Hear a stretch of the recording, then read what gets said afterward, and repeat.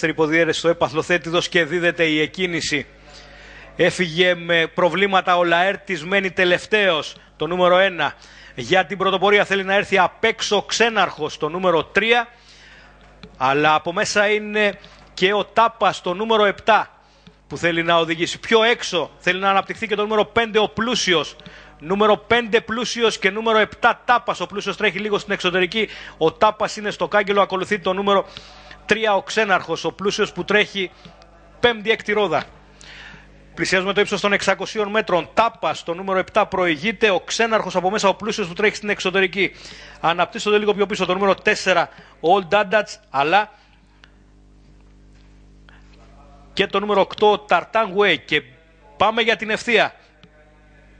Όπου ο Ξέναρχος θέλει να επιτεθεί και περνάει μπροστά. Έρχεται απ' έξω πολύ δυνατά ο Old Dadats, το νούμερο 4. Από μέσα είναι και ο Tartan Way.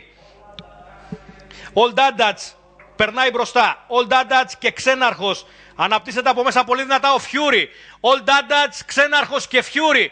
Ο Φιούρι που έρχεται. Old Dadats θα πάρει την νίκη. Φιούρι και το Passway για την τέταρτη θέση θα γίνει μάχη για να δούμε την κράτησε. Ο Ξέναρχος έπεσαν πολύ στο τέλος. Ήρθε και ο Λαέρτης.